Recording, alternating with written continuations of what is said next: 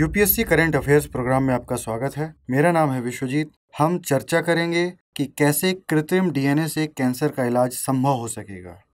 दुनिया में अपनी तरह के पहले प्रयोग में शोधकर्ताओं ने कृत्रिम डीएनए का उपयोग करके कैंसर कोशिकाओं को मारने का एक नया तरीका खोजा है, जो भविष्य में इस बीमारी के इलाज का मार्ग प्रशस्त कर सकता है।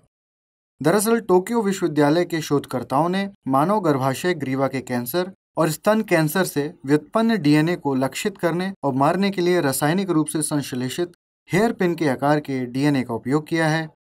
टोक्यो विश्वविद्यालय के शोधकर्ताओं की टीम ने बताया कि वे कृत्रिम डीएनए का उपयोग करके पारंपरिक कैंसर रोधी दवा उपचार को समाप्त करना चाहते हैं। गौरतलब है कि पारंपरिक न्यूक्लिक एसिड अर्थात डीएनए और आरएनए दवाओं का उपयोग आमतौर पर कैंसर के उपचार के लिए नहीं किया जाता है। इसमें समस्या यह है कि ये न्यूक्लिक दवाएँ कैंसर कोशिकाओं और अन्य स्वस्थ कोशिकाओं के बीच अंतर नहीं कर पाती हैं। ये न्यूक्लिक एसिड दवाएँ स्वस्थ कोशिकाओं पर गलती से हमला करके रोगी की प्रतिरक्षा प्रणाली पर प्रतिकूल प्रभाव डाल सकती हैं।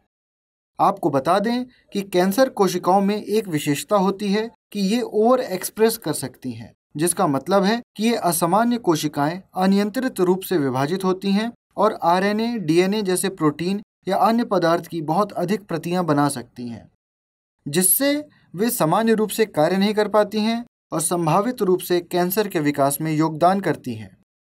इसलिए इस वृद्धि को कम करने के साथ साथ इसे रोकने के लिए वैज्ञानिकों ने ओंकोलिटिक नामक कृत्रिम डीएनए जोड़े बनाए हैं, जिन्हें ओएचपी कहा जाता है। वैज्ञानिकों ने एक परीक्षण में कृत्रिम डीएनए को कैंसर सेल में इंजेक्ट किया जब डीएनए का सामना over expressed M I R twenty one नामक माइक्रो आरएनए से हुआ, जो कुछ कैंसर में अत्यधिक मात्रा में उत्पादित होता है तो इस कृत्रिम डीएनए ने प्रतिरक्षा तंत्र का निर्माण किया। इसके अलावा, इस कृत्रिम डीएनए ने न केवल कैंसर की कोशिकाओं को मार डाला, बल्कि ये कैंसर उत्कों के आगे के विकास को रोकने में भी सक्षम थे। अध्ययन में पाया गया कि यह परीक्षण मानव गर्भाशय ग्रीवा के कैंसर व्युत्पन्न कोशिकाओं स्तन कैंसर व्युत्पन्न कोशिकाओं और चूहों में घातक मेलनोमा व्युत्पन्न कोशिकाओं में पाए जाने वाले over expressed M I R twenty one के खिलाफ प्रभावी था।